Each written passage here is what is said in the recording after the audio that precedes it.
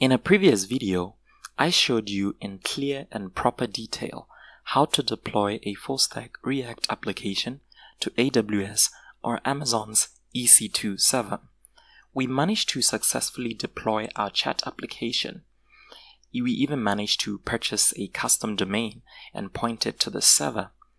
Now, deploying with the EC2 server is a good and proper way to deploy applications, but it's not the easiest you have to skip through a couple of hoops before seeing your application live.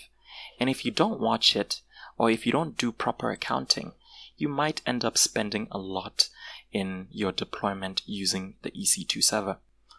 Now, a good alternative to AWS is Heroku. Heroku is a cloud as a service platform which supports multiple languages.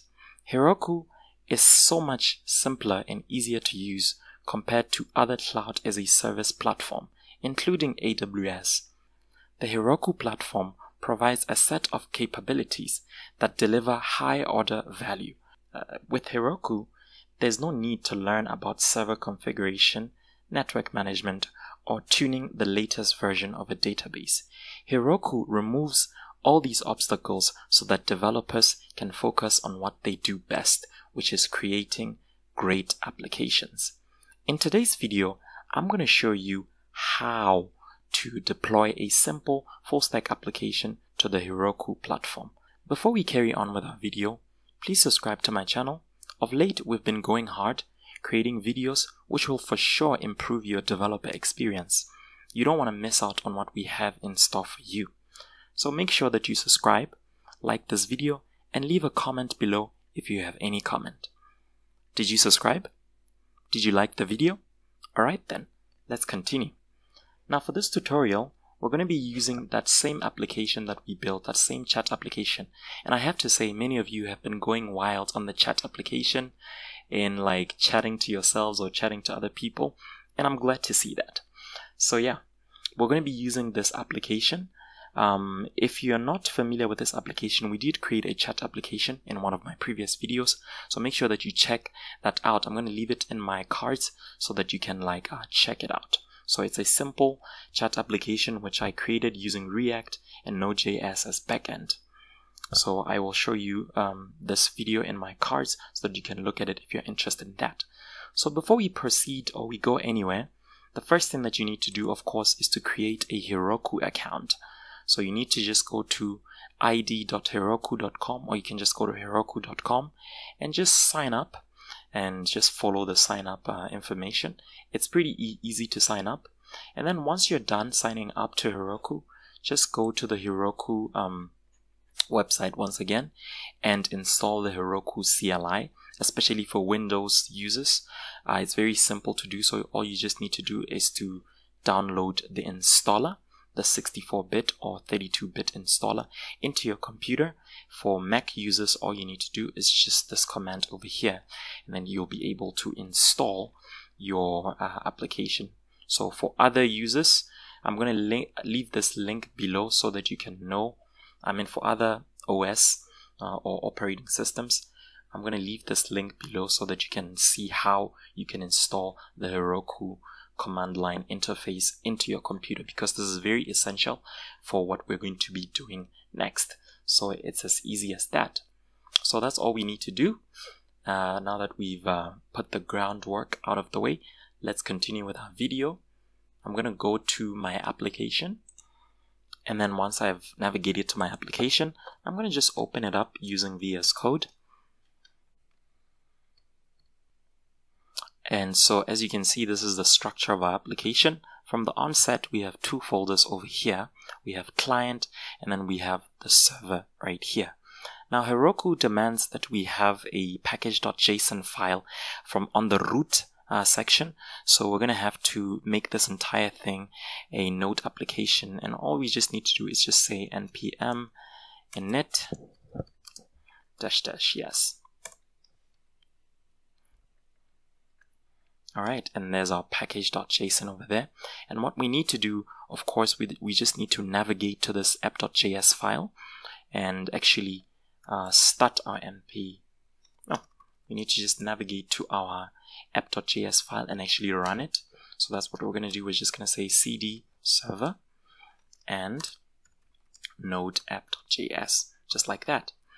And then on the client side, what you need to do, let me just show you on the package.json, you need to do this on your build section. Make sure that you include this line over here. You say on, on the build file, I mean on the build section of your package.json, just say react scripts build and cd into the server and install all the dependencies. So this is the line that your Heroku uh, CLI is going to run. It's going to make sure that every dependencies is installed. And instead of saying start, you're going to say start client. This is what Heroku demands us to do. Instead of saying client, make sure that you just do start client. And the other thing that we need to do is that on our app.js, um, yeah, make sure you have this line from our previous video. Of course, this line is already in there. So this is the line that's going to run our static, our React static files. So that's very important for you to have.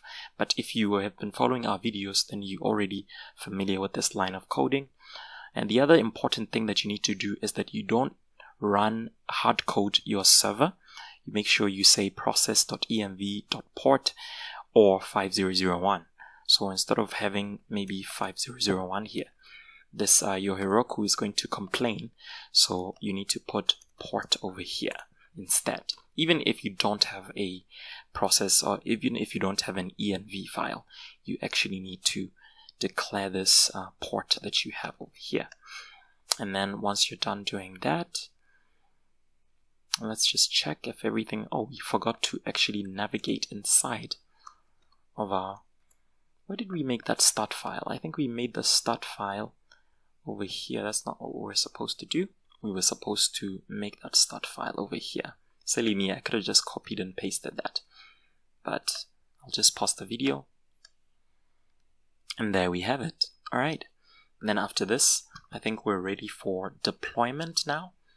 Okay, so let's just recap on what we just did. We created an npm package.json over here so that we can just simply, it allows us to actually, it tells our Heroku CLI what file is to be run. So obviously we want to run this app.js file because it's the one that is going to be running our React static assets. So this is the file that is responsible for running our entire application. So when Heroku comes here, it needs to identify the package.json and it also needs to identify, it needs the route that tells us where to run our entire application. The other thing that we actually need to do is that we need, actually need to take every single dependency that we have inside of our inner package.json in our server and we need to take those dependencies and we need to put them over here. So Heroku demands that all those applications we put them over here. And then, yeah, I think that's it. We're ready for deployment now. We just simply go to our command line. And the first thing that you need to do is that after you've installed the Heroku CLI, you need to say Heroku login. And Heroku is going to direct you to your browser. It's going to say press any character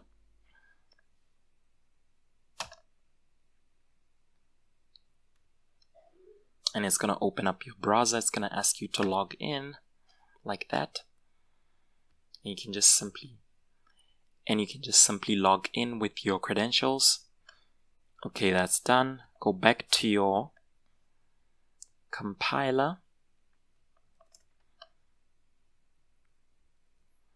And then that's it. Go back to your CLI. Now you can just simply say Heroku create and then you're going to name your file. I'm going to call it Koding 101 chat application. Yeah, I'm going to just say chat app like that. I'm going to wait for it to create and you can see then if the name is not available it's going to give you an error so make sure that you give it a very unique name so you can see that I've given it this is where our application is going to run so our application is going to be uh, live on this URL that you're seeing over here. And this is our Heroku Git repository. Then after we're done doing that, we need to say git add normal procedure. And we say git commit. uh, Heroku commit. And then our final uh, thing that we need to do, we just need to say git um, push Heroku master like this. And what it's going to do is it's going to build our, our application and it's going to deliver it to the Heroku website. And it doesn't take much, it takes about like two minutes or even one minute for it to, if it's a small application like ours. And then we can just use this URL that you're seeing over here. We can go to our browser. Just put this down a bit. Fingers crossed. There you have it. There's our application. Let me type in a random name, coder, and there is our chat. Alright, and so it is as simple as that. Just make sure that you, um, as you copy your dependencies, everything's good because I noticed that one of the mistakes that I did is this dependency over here. I didn't spell the word express properly. And because of that, I experienced an error. So I guess I didn't need to actually install those dependencies. So um, on the outside on the root directory. So I just needed to spell express properly. So yeah, that's it about installing. I mean, sorry, that's it about deploying your application on Heroku. Yeah, it's as simple as that. It's not as difficult as or as complicated as the EC2 um, server, but it's very sufficient, it's very easy. This is the type of thing that you would need to do for your simple applications uh, if you don't want to do something too drastic. But EC2 is very comprehensible.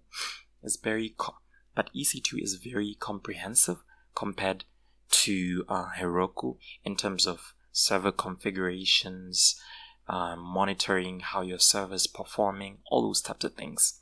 So yeah, that's it for me for today's video. I hope you've enjoyed. If you have, click the like button. If you haven't subscribed to my channel, please do subscribe. If you have subscribed, make sure that you click the notification bell icon so that you don't miss out on any of my content. If you have any comments, leave them below. But other than that, thank you so much for watching. I will see you next time on Koding 101.